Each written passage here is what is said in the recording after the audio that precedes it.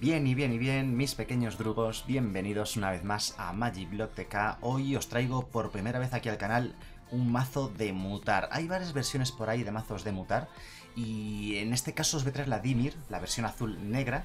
Eh, la mayoría de ellas juegan de, de compañero juegan a Umori, coleccionista, porque los mazos de mutar se basan en criaturas, entonces lo que hacen es llevar todo el mazo entero de criaturas y con Umori pues reducen los costes de jugar esas criaturas, aparte de que Umori pues es simplemente una carta extra en tu mano inicial, es como empezar la partida con 8 cartas, como he dicho en muchas ocasiones, ¿no? Entonces, eh, Dimir Mutate, azul-negro. ¿Por qué azul y negro? Pues porque tienes algunas de las mejores cartas de mutar en esos colores, como pueden ser, por ejemplo, el tiburón costero saltador, que devuelve una criatura a la mano de su propietario, o en el color negro, por ejemplo, el, hematófago insaciable que hace drenar vida de X, donde X es la cantidad de veces que ha mutado, y no es tontería ganar muchas partidas con este bicho, ahora lo vais a ver. Y eh, va a traer exterminadora oscura que mata criaturas del rival cada vez que muta, o sea, contra, a ver, la, verdad sea dicha, este mazo contra control va un poquito regular, pero contra otros mazos de criaturas va muy bien. Entonces, es una pena que el metajuego realmente, el metajuego competitivo, esté plagado de mazos de control, porque lo tienes muy complicado. Sin embargo, si el metajuego cambiase, mutase hacia un. hacia un un entorno más plagado de mazos de criaturas, este mazo sería muy bueno, ¿eh? Realmente. Ahora mismo yo, yo, no lo jugaría competitivamente hablando, ¿vale? O sea, a lo mejor en, en Rankeds, en bronce, plata, oro, va a ir bien porque hay más mazos de criaturas.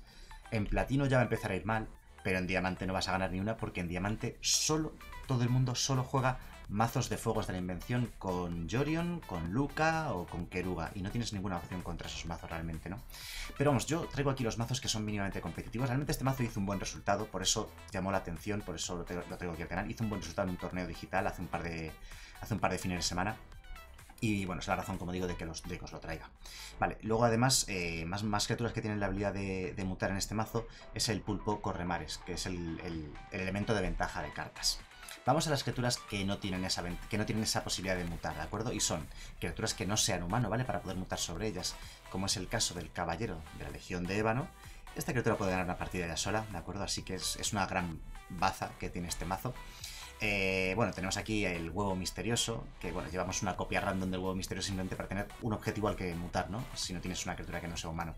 Y la serpiente de recta roca, que las criaturas de contadores son muy buenas con mutar, porque es un 0-0 con X contadores más 1 más 1. Si yo muto un 3-3 sobre ella y elijo el 3-3 encima, será un 3-3 con todos esos contadores más 1 más 1. O sea que si, por ejemplo, tiene 4 contadores, pues será un 7-7. Así que la serpiente de recta roca, primero, no es humano, así que es perfecta para mutar se quedan los contadores más uno más uno sobre la criatura, lo cual hace que sea gigantesca. Tiene arrollar, tiene alcance y tiene protección contra multicolor. Hay muchas razones para llevar serpiente retarroca en este mazo y en otros muchos mazos. A ver, en el coste 2 tenemos el, el renacuajo simbiótico, que sí que es eh, rana, por tanto no es, no es humano. Y Vínculo Noches Astuta, que es humano y por tanto no puedes, no puedes mutar sobre ella. ¿Pero por qué los llevamos? Los llevamos primero, básicamente, bueno, la razón principal es que hace que cuesten uno menos, ¿vale? Los hechizos con destello, en el caso de, de la Vínculo Noches, y muchas de las criaturas con mutar tienen destello, ¿vale? Y en el caso del renacojo también reduce el coste de las criaturas con mutar. Entonces, bueno, en el coste 2 tenemos dos criaturas que lo que hacen es reducir costes, fundamentalmente. Además, la víncula Noches Astuta impide que te contrarresten los hechizos de criatura, ¿vale? Bueno, hechizos de destello, mejor dicho. Solo llevas criaturas, así que es lo mismo. Y luego en el coste 3, que en lo último que no hemos comentado, tenemos el ladronzuelo atrevido, una criatura versátil, no es humano, la puedes jugar primero como instant subiendo un permanente a la mano del oponente y luego como criatura, vuela, destello, tiene sinergia con esto y también tiene sinergia con, sinergia con la quimera serpenteante que es otra carta más con destello. Eh, tiene un coste un poco complicado. Realmente cuesta mucho jugar esta criatura en este mazo, pero bueno. No por el coste en sí, sino porque en ese turno 3 como ya querrías empezar a estar mutando y no jugar estos bichos, ¿no? Eh, pero cuando juegas una, criatura, una carta con destello, robas carta y el oponente pierde una vida. O sea que está bastante bien. Bueno, pues una vez comentado el mazo, como siempre, os lo dejo, os lo dejo entero debajo del vídeo en la descripción. Exportar la Magic Arena con el banquillo incluido, ¿vale? Del jugador que hizo un buen resultado. Como digo, en, en esos torneos. Y bueno, pues vamos a probarlo. Dimir Mutate. A ver, yo lo estuve jugando bastante. Lo jugué bastante, bastante. En el especial 12 horas que hicimos hace, hace un par de semanas. Lo jugué bastante. Y claro, como la gente jugaba muchos mazos de criaturas contra mí, pues fue muy bien. La verdad es que ganaba la mayoría de las partidas con el mazo. Pero en un metajuego, como digo, realmente competitivo, lo vas a tener muy mal, ¿no? Bueno, vamos a quedarnos esta mano. Sale el oponente. ¿Y que lleva? Lleva un mazo de Lurrus, de acuerdo. Ha hecho Mulligan, por cierto. Nosotros podríamos haber hecho Mulligan a esta mano, ¿de acuerdo? Pero bueno, saliendo él, robamos una carta más, tendremos la opción de llegar a la tercera tierra y además esto reduce los costes de las criaturas con destello. Así que tengo la esperanza. Rojo-blanco con Lurrus. Vale, ahí tenemos otra tierra más, perfecto. Rojo-blanco con Lurrus. Mm, será un mazo de ciclar, posiblemente. Azul, rojo-blanco, Jeskai con Lurrus. Mazo de ciclar, vale. Ahora ya lo tenemos confirmado. Sí que es el mazo de ciclar. No hace falta que le digamos que llevamos azul. No vamos a atacar, que nos bloquea. A ver si ataca él. Si ataca él, posiblemente le bloqueemos. Ahora mismo la vincula noches astuta no le vamos a sacar ningún tipo de partido. Bueno, ha perdido ya cuatro vidas, por cierto, que ha jugado dos tierras enderezadas. A ver si ataca. O no. Venga, no vamos a atacar. Vamos a intentar ir a por su total de vidas. Espero que no juegue otro bloqueador. Lo más normal es que él empiece ya a ciclar. No creo que juegue el Urrus, porque sabe que se lo vamos a matar. Él ha visto dos pantanos. Mazo con negro suele llevar muchas anticriaturas. Anda. Y hace luchar. Pues vale. Vale. No podemos hacer mucho al respecto. Bueno, no podemos hacer nada, de hecho. Venga, juguemos la isla. Vamos a jugar también en la quimera serpenteante, supongo. Tiene destello, así que la jugaremos al final de su turno. Vale, estoy deseando... Estoy deseando tener esta quimera en juego para poder empezar a mutar sobre ella.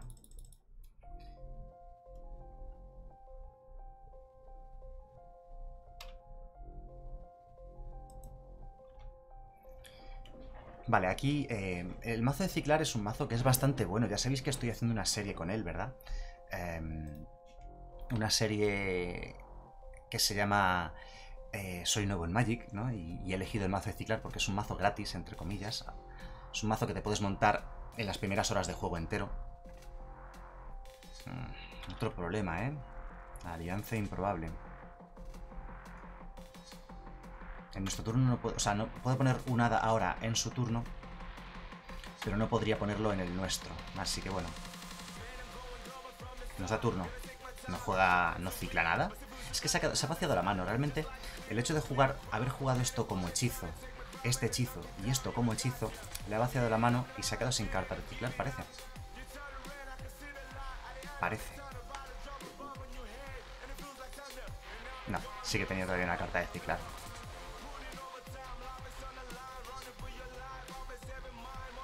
Cicla otra vez, vale. Que podría haberse esperado nuestro turno, aunque no iba a cambiar mucho la cosa. todas las cartas que tenemos son negras, así que voy a jugar pantano. Y aquí es lo que os comentaba antes. Podemos hacer un mori, o podemos empezar a ciclar. O sea, empezar a mutar, perdón. Sinceramente, creo que la opción de mutar debería ser la más, la más inteligente para empezar a hacer esos drenar vida. Y cuanto más juguemos, más drenar vida hacemos, claro. Es que el humor y reduce el coste de esto a 2 el siguiente turno y podemos jugar los dos el siguiente turno. Lo cual también está guay. Venga, vamos a hacerlo, vamos a hacerlo así. Atacamos de 5. Hacemos Humori y el siguiente turno podemos mutar dos veces con el Humori en juego. E incluso, yo que sé, si robamos el renacuajo, si robamos el renacuajo, a lo mejor mutamos incluso más de dos veces porque bajaría el coste de mutar de esto a uno nada más. Ahora mismo costarían dos, ¿vale? Gracias al humor y cuesta uno menos los hechizos de criatura. Nos ha salido una partida un poco extraña, porque ha sido más bien de... sin, sin mutar, ¿no? Prácticamente.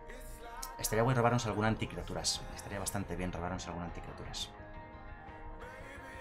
Una, bueno, una criatura que mute y que sea anticriaturas, claro. Y ataca con esto. Voy a bloquear. No creo que el mazo de ciclar tenga nada. Vale, se gasta... No pasa nada si se gasta un resplandor del cenit en matarnos un bicho.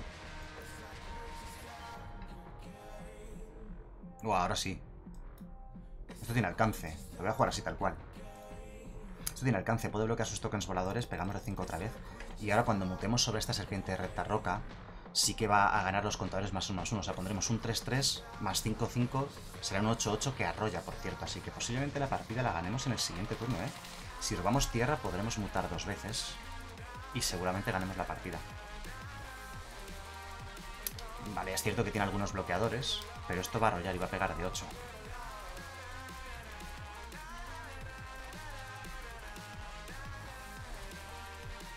Lo que digo, que esta es su win condition principal, resplandor el zenith.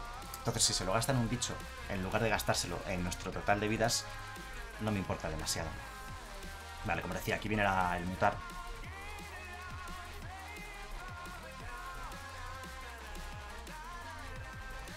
Y sí, te pegamos un borrazo 8-8, arrolla, protección contra multicolor, toque mortal, alcance. Creo que voy a atacar con todo.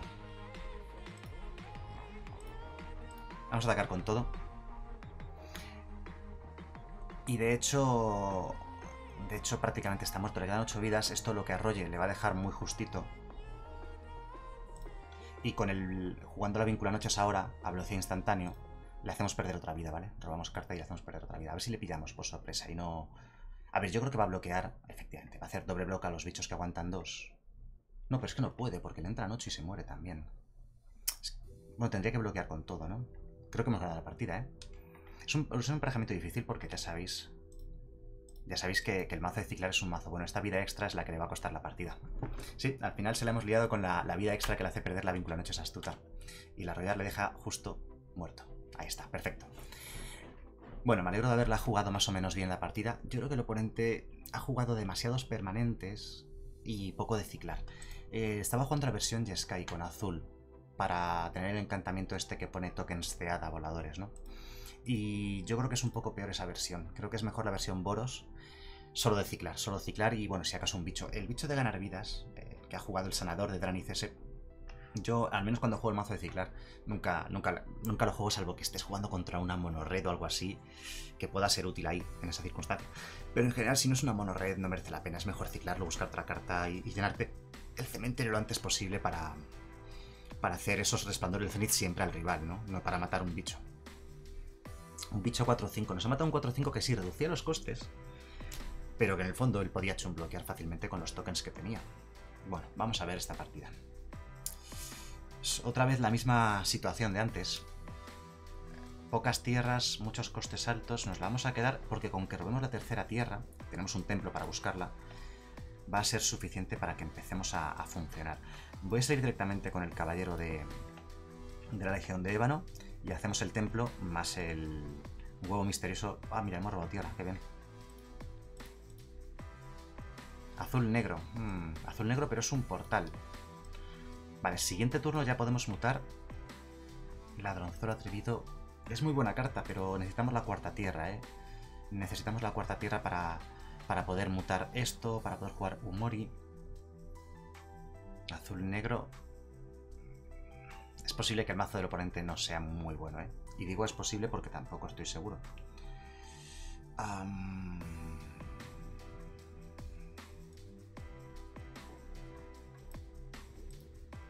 Mutemos sobre el huevo.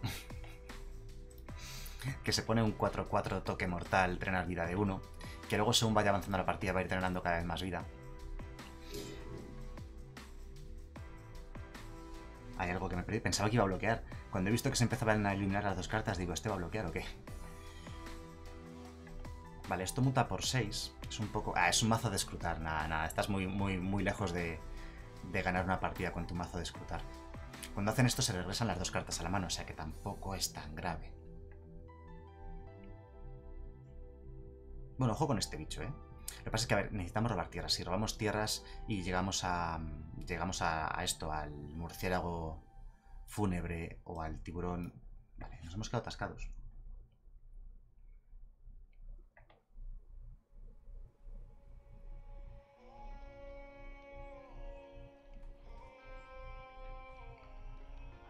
Si juego esto, posiblemente él nos quiera bloquear. Posiblemente.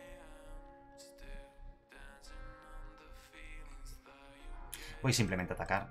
Atacamos de dos. Vamos a jugar dos bichos pequeños. ¿Cómo? No creo que bloquee. ¿En serio? ¿Por qué? Te matamos tu bicho. Gratis, o sea, quiero decir, sin perder carta. ¿Vale? Pues... A ver, también es cierto que perdemos el turno, ¿no? Pero nuestro turno iba a ser jugar un huevo y un caballero de la Legión de Ébano. Tampoco iba a cambiar mucho la cosa. Y él tenía un 4-4. A ver, que se lo podíamos subir a la mano con el tiburón, se lo podíamos matar con el murciélago, pero también es cierto que nos iba a costar un par de turnos o tres llegar al, al murciélago y vete a si, robamos, si nos robamos la cuarta tierra. Nos concede. Qué mal.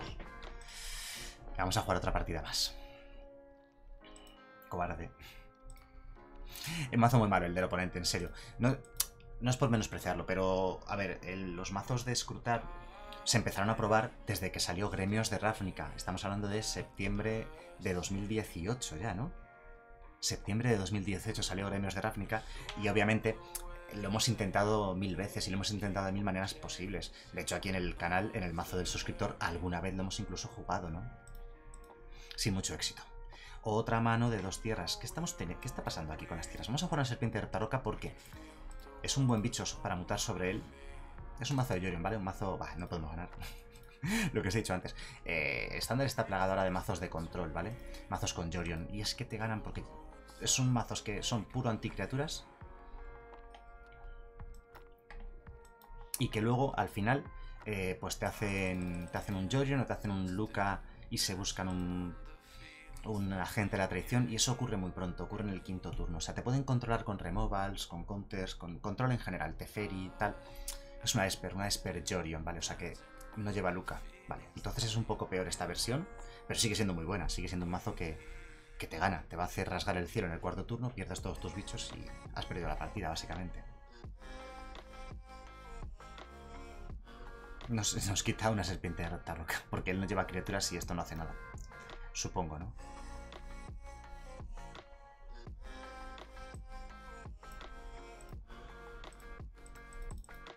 Atacamos de dos. Ya queda poco. Nos quedan otros 10 turnos más para ganar la partida.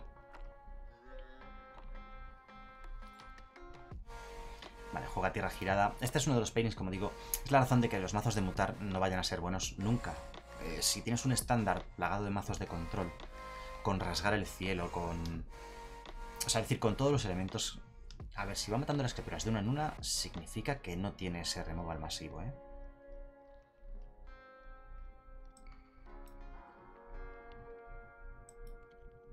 No sé, no sé qué queremos, la verdad, para ganar esta partida. Porque lo tenemos muy mal si va, si va jugando este anticriaturas así contra un bicho que pega de uno, lo voy a interpretar como que no tiene, no tiene un removal masivo. Vamos a hacer el ladronzuelo al final del turno, ¿eh? Como criatura, directamente. Para poder atacar con un poquito más de fuerza. Con un poquito más de presión. Podemos jugar incluso el... Es muy raro lo que está haciendo. Ahora mata un, un huevo misterioso de estos así, un 0-0. Son 0-2, ¿para qué matas un bicho que pega de 0? Voy a mutar solamente para pegar de 5 este turno, de 8 mejor dicho. Si no tiene el removal ahora, como se ha gastado removals random así sueltos, quizás está metiendo la pata.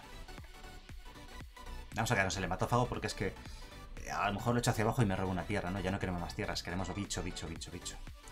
Si hace el removal masivo ahora y nos mata a los dos, las dos criaturas, Elspeth vence a la muerte. Será por removals, ¿no? Parece que tiene unos pocos. Bueno, Vamos a jugar Umori.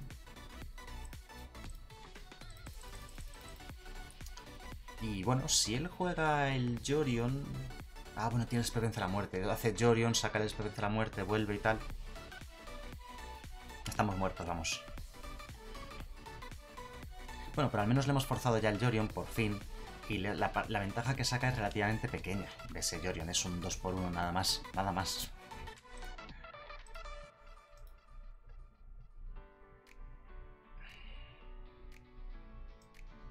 quedan 5 vidas. Voy a mutar, si es que tampoco... Vamos a mutar sobre esto.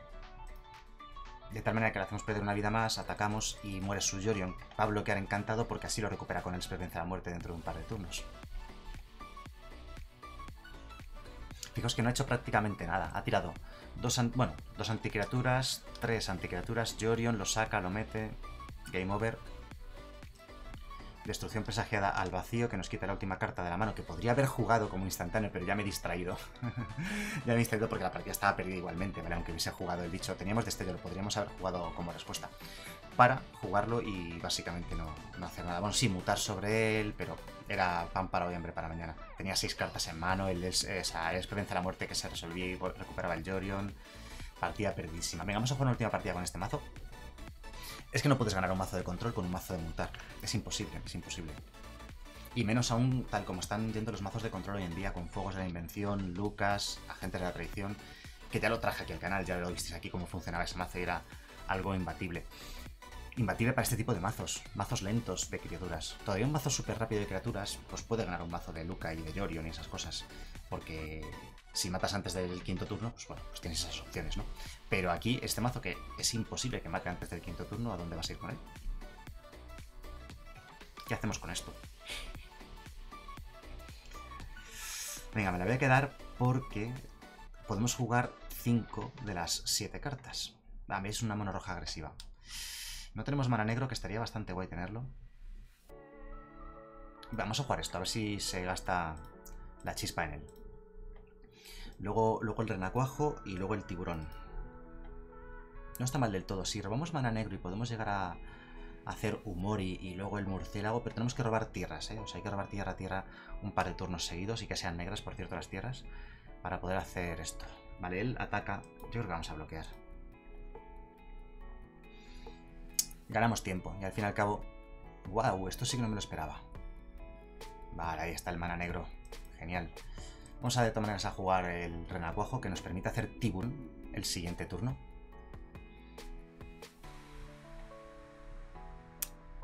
Malas noticias, malas noticias. Muy malas noticias, de hecho. Oh, un pantanito. Chachi. tenemos un bloqueador. A ver si no nos lo mata. Espiral de lava, ¿eh? No se suele ver espiral de lava. Tampoco se suele ver el can furioso. Oh, y era un choque. Bueno, y otro can furioso. Bueno, nos mata. Venga, vamos a jugar este Humori que aguanta 5. Bajamos a 9. Nos tiene casi muertos, ¿eh? Pero, pero, si aguantamos este turno, con el hematófago y el murciélago podríamos llegar a remontar esta partida. Esperemos que no tenga otra chispa. Si tiene otra chispa hemos perdido, porque si nos mata también el Humori... Si nos mata este Humori, estamos muertos. Nos lo mató.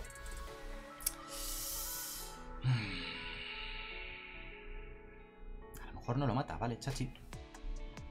Ha preferido no matar ese Humorin, vale. ¿Qué podemos hacer entonces? Podemos jugar esto por 3, como bloqueador, y luego el pulpo. Tiene 2 y 1, 3 daños directos en mano. Vamos a ver si le pillamos por sorpresa y se la liamos. Vamos a jugarlo como criatura tal cual, como 3-3 bloqueador. Pasamos turno y cuando él no se lo espere mutamos sobre el hematófago a velocidad instantánea y ganamos una vida. A lo mejor esa vida es importante. Vamos a ver. Ataca con todo.